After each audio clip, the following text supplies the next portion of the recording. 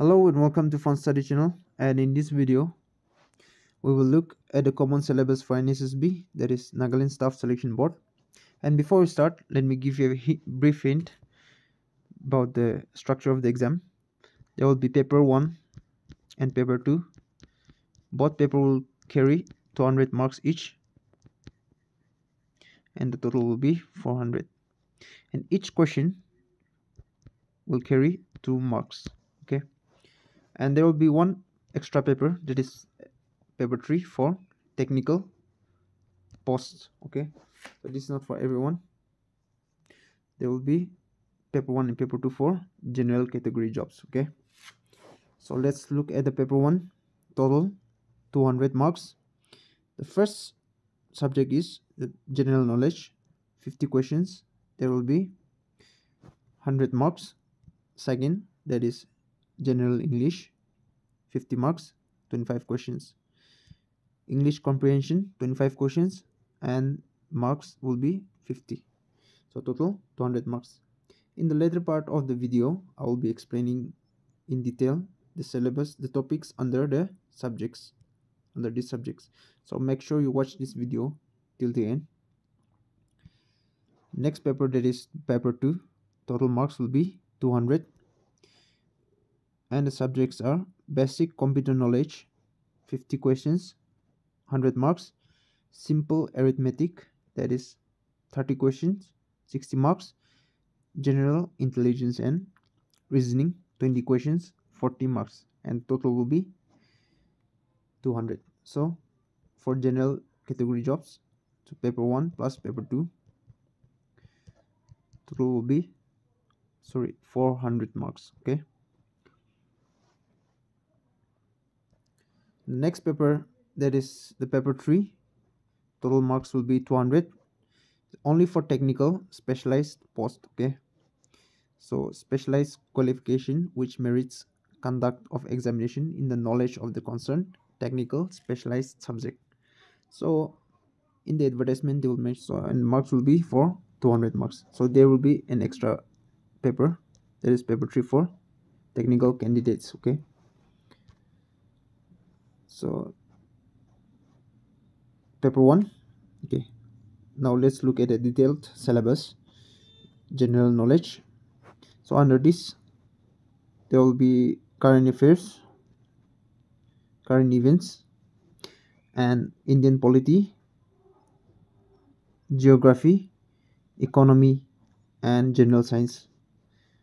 And naga history and culture will also be part of the syllabus so the subjects are topics are current affairs indian polity geography economy general science and nagaland gk so these are the subjects under general knowledge.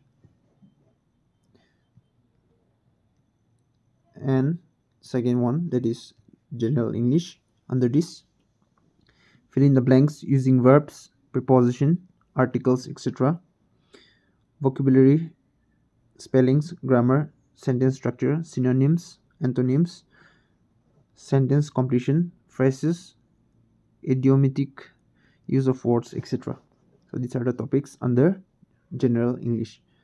And the third one that is english comprehension.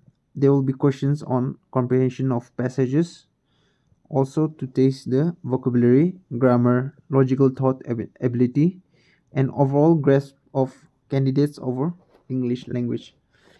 These are the four paper one. Okay. Now for paper two, basic computer knowledge. So under these topics are introduction to computers, introduction to graphical user interface based operating system elements of word processing, spreadsheets, PowerPoint presentations, computer communication and internet, World Wide Web, www, and the web browser, communication and collaboration. So these are the topics under basic computer knowledge. Now the second topic that is for paper 2 that is simple arithmetic so the topics under simple arithmetic are number system simplification roots averages discounts percentage profit and loss ratio and proportion partnership chain rule time work time and distance simple compound interest mensuration permutations combination heights and distances line graphs bar graphs pie chart and tabulation. So these are the topics under simple arithmetic paper 2 and the third one that is general intelligence and reasoning. It will include both verbal and non-verbal type.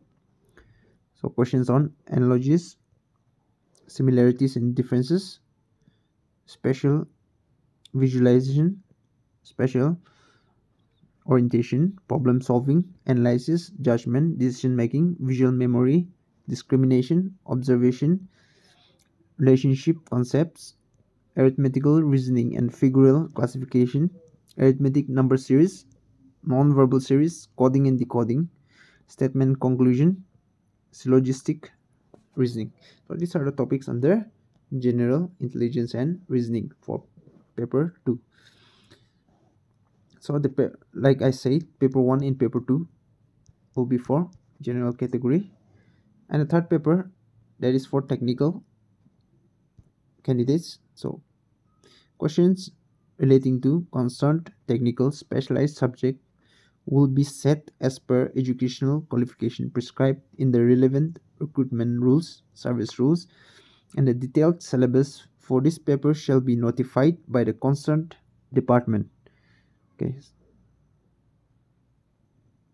Syllabus for this paper shall be notified by the concerned department well in advance after due consultation with the board.